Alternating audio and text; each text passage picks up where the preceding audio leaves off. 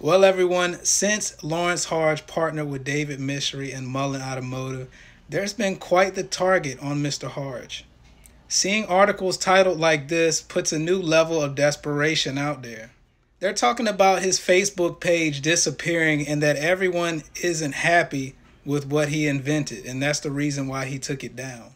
They're making him sound like a rookie when really he's just trying to simmer down some of the noise he was making on social media. Through a video posted on the platform, Hardge teased an already agreed upon $10 billion contract with Saudi Arabia.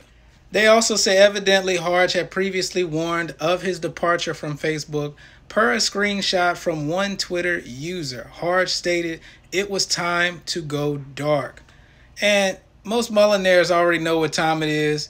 Cha Cha knows what time it is. He did say he was taking down Facebook, so nothing we did not know. Hope we hear from press or Mullen USA or Lawrence Hardge. Good luck and don't get distracted by noises. Lawrence posted on May 10th, thanks to all for the birthday and get well wishes. Much love to you all.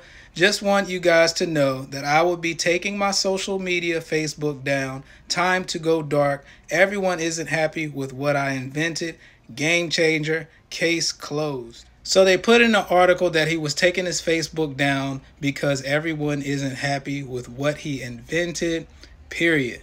They didn't include game changer and case closed. And Lawrence is very confident that his EV technology is a game changer. It's already been proven and tested on many electric vehicles, increasing the miles per charge and many other possibilities ahead. Lawrence doesn't want to put himself and Mullen in a bad spot, you know, leaking a lot of information out. He has been attacked on platforms and his family could see what's going on. So time to get serious with his accounts.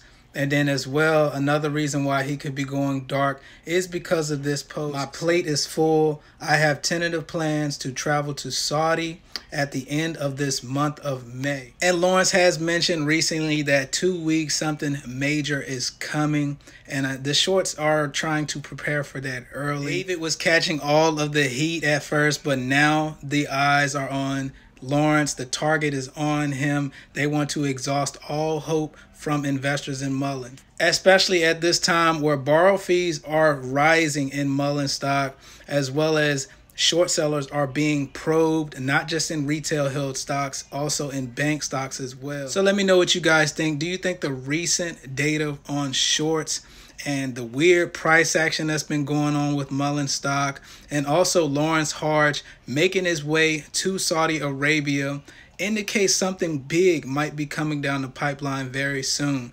Leave it down in the comments. Stay charged up out there. Don't feed the fear, and I'll catch y'all next one. I'm gone.